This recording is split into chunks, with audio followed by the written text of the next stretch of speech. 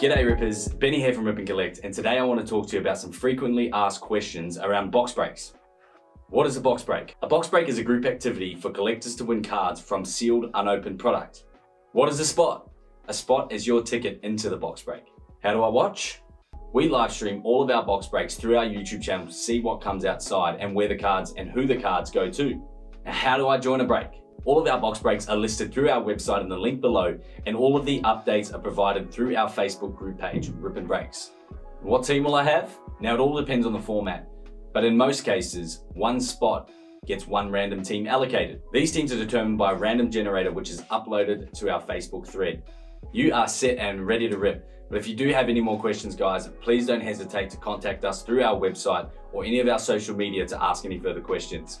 Let it rip.